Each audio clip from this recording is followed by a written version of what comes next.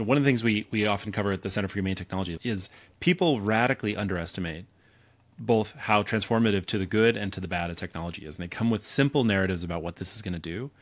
And then we're surprised five or ten years later when the technology was so much more complex than we thought that we drove the car into you know this or the other ditch by the side of the road that we, we didn't stop to imagine what this would do to our world and i guess what i'm trying to ask you is like if we look at the next few years what are the transformations that are going to be surprising to our labor market that you too will understand but that people won't have thought about uh, on my end i would say i think that people are underestimating the level of quality of work that these systems can produce. And I'm, I'm partially at fault. Like when I wrote co-intelligence, intern was the right analogy to use for AI. It is not working at intern level anymore.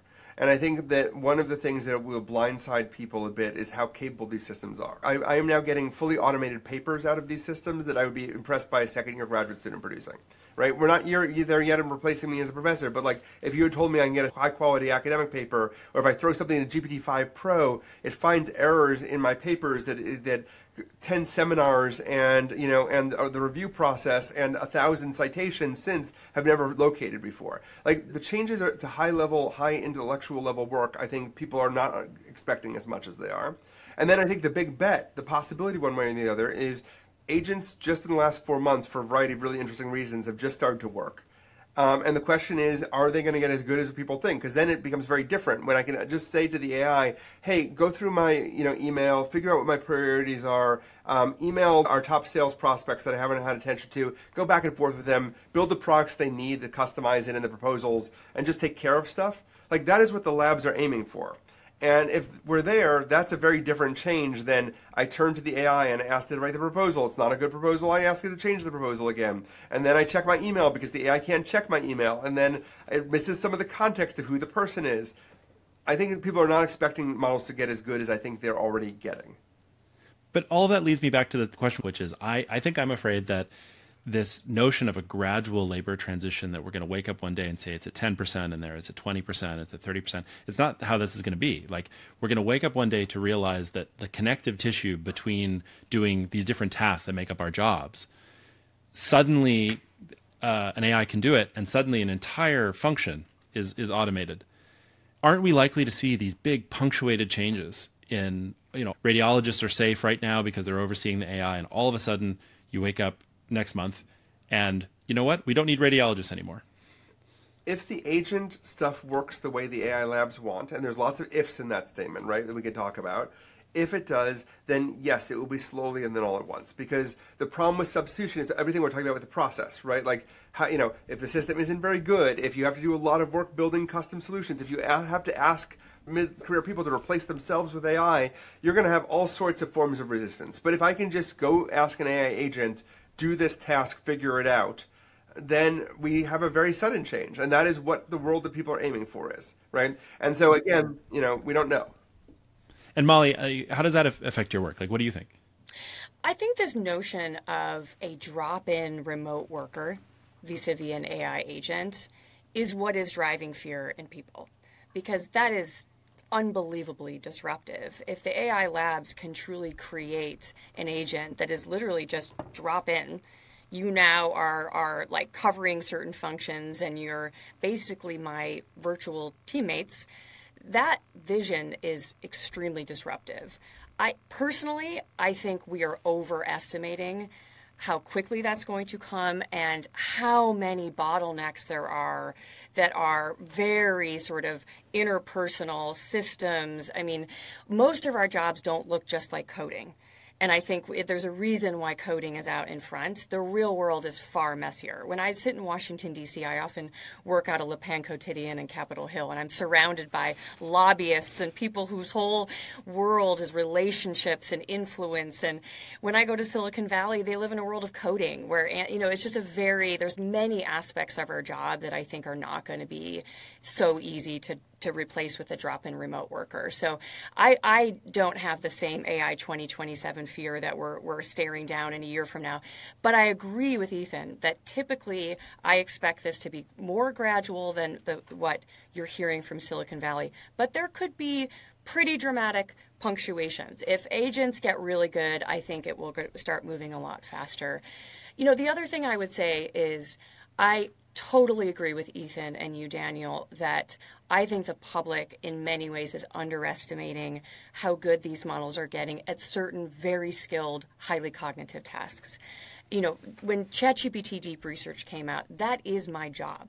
So I, I had that 100%. experience of this moment what ethan talked about in his book i felt it i mean I, my hair is standing up on my arms right now because i had that out of body experience where i got access to it. I asked it to write a paper. I have wanted a famous economist to write for years which is what can we learn positively from the last few decades of technology automation and women? Because women have been a lot more resilient than men. So i gave a bunch of really high quality papers and some people they the paper that chatgpt put out was so well done. I've shared it with lots of extremely influential economists as my example of how good this is and this is going to creep up in so many different, very expert, high quality knowledge jobs. And that for society is dramatic change. Just a few years ago, if I had been on this podcast before ChatGPT's launch, which was three years ago this month, I never would have identified these highly skilled, highly cognitive roles as being susceptible. So, still think in the real world there it's going to be slower. Like to your point about radiologists, I actually think it's going to move slower to fully replace humans in some of these roles. But I think businesses are sectors are going to be disrupted, roles are going to be disrupted. It's going to be uneven, but it will happen. And I think what instills fear in the heads of so many Americans is this sense of Russian roulette. Are you going to be the person that's going to wake up one day and there's a version of ChatGPT deep research that can do your job? And I think that's terrifying to people to sense this is these are careers people have spent a lot of money, a lot of time on their education, years of experience, and I think people feel quite vulnerable. Um, but again, the the sort of caveat to that is I don't think we are facing down in two years PhD level drop in remote workers that are going to substitute for most of us. But I have three kids. So I my eldest is 10.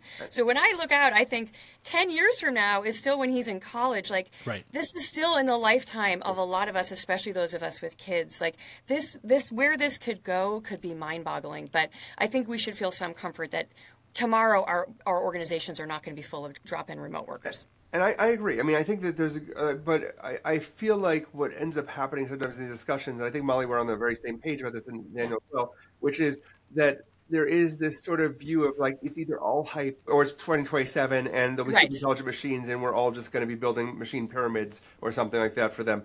And I think that there's a tendency to, to swing to one side or the other, and especially exactly. for people who are kind of rational people who study this field like like us to be, you know, uh, the hype is overblown.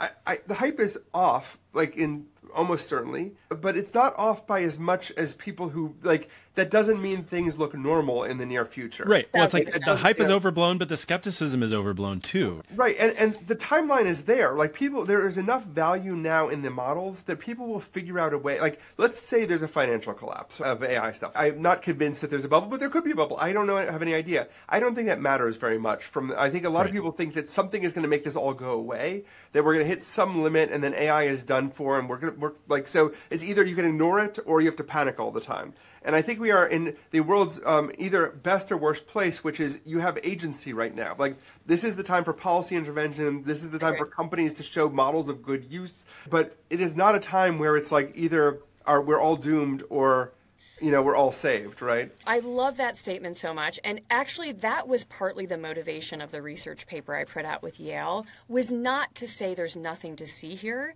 I, I am very firmly believing that this technology has enormous capability, but it was to say, look, we have a moment to catch our breath and shape the way this is going to play out. I don't like the fear mongering coming from Silicon Valley in a way that strips us of our agency. This thing is coming tomorrow. There's nothing we can do to stop it. It's this inevitable force. You know, every job loss is all about AI. This is coming for you. Don't even go to college. I mean, this is sometimes the tenor of the conversation.